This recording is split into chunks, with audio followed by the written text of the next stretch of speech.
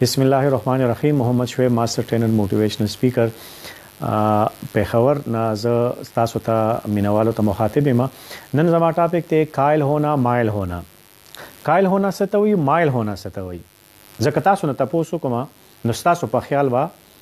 کایل هونا څه مطلب دی او مایل هونا څه مطلب دی څه فرق دی ورکه لګوندې ټایم تاسو درکوم خټیک تا تاسو په خیال څه مطلب او معنی هم چې کېدای شي په پخپله وي، خو زه کوشش کوم چې تاسو ته د دې فرق وښیم او واضح کړم درته. یاد لرئ، قائل هونا همېشه دماغ سې هوتا هې، قائل هونا دماغ سې هوتا هې اور مائل هونا دل سې هوتا هې. انسان د ژوند ټولې فیصلې دلو دماغ په ذریعه باندې کوي کومې فیصلې چې صرف د زړه په خوښ اوشي نو هغې کې د غلطۍ ګنجایش ډیر زیات کیدې شي خو که د زړه سره سره مونږ لږ د عقل نه کار اخلو نو ډیر امکانات دي چې مونږ به د ډیرو نقصانونو او غلطو او پریشانو نه بچ پاتې شو مایل هونه زړه سره تعلق ساتي او زړه انسان ته کله کله ډیر ناروا خواهشات او کارونه او عملونه ښیي نو د زړه دا اس چې کله په کندو کپرو باندې سر شي نو د عقل په پړي او په رسو به دا منې کول پکار وي، سيده کول پکار وي، ګنو که دا اس دې بې مهاره پرېښو نو ډېر زر يا به دېر د يو لوی تباهۍ او نقصان ته به مخامخ شي، خو ولې مذهبي لحاظ سره بعضي څيزونه او کارونه داسې دي چې هغې کې به عقل نه ځغلوی. هر څه چې د الله او د رسول حکم کم کړی دی بس هغه به الله او د رسول حکم ته مونږ حواله کوو هله به مونږ کامیابیږو مثلا د مثال په توګه د ثبوت په تور باندې وی بې خطر کود پړه آتش نمرود مې عشق بې خطر کود پړه آتش نمرود مې عشق عقل هې محو تماشای لببام اوی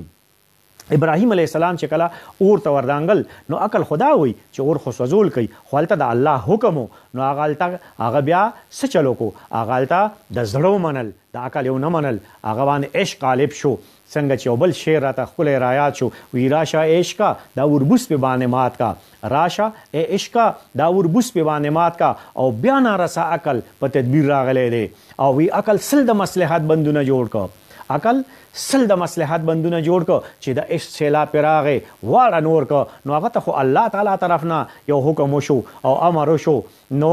د هغه د وجه نه چې کوم دی هغه اور ته ورودانګل الله وته هغه اور ګل ګلزار کو مایل هونه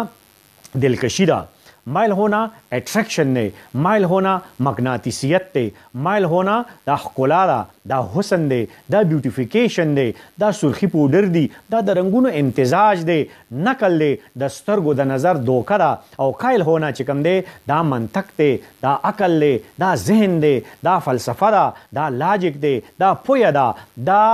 دماغ دي، مايل هو نه کله کله دا هلکان چې کوم دی دا عشق مجازي طرف ته چې راشي نو دوی څه چل وشي دوی چې چرته مئين شي نو دوی مايل شوي وي دوی قايل کيږي نه دوی ته مور پلار وايي دوی ته دوستان وايي دوی ته دشته دار وايي چې هلکه منې شه دا خلک ټيک خلک نه دی دا سپک خلک دی دا رک خلک دی دا زمونږ د سيالۍ خلک نه دی دوی سره مونږ نه ښايو او دغه هلک چې کوم دی دی څه چل شوی وی دی مایل شوی وی او دی وی نه مور تا به مولما او پلار تا به مولما او زه به زهر وخورم او زه به چې کوم دی نو ځان مړ کړم او ډیرو خلکو دغه شانتې خودکشی کړی دی او ډیرو خلکو دغه شانتې کورونه چې کوم دی نو پریښی دی او د کورونو نه وتی دی او ډیر خلک چې کوم دی خپل د مور پلار او اصل نسل هغه چې کوم دی د هغوی عزتونه په خاورو کې ملو کړی دی وجه څه ده وجه صرف دا ده چې هغوی مایل شوی دی د هغوی کايله شوي نه دي، نو کوشش کوئ چې د ژوند په مختلفو اړخونو کې تاسو د زړه سره سره چې کوم دی د عقل نه هم کار اخلئ په بعضو ډېرو زياتو معاملو کې او څنګه چې مذهبي لحاظ سره ما خبره وکړه نو هلته بيا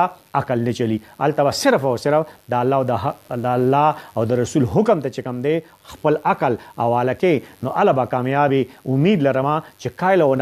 هونا اور مائل هونا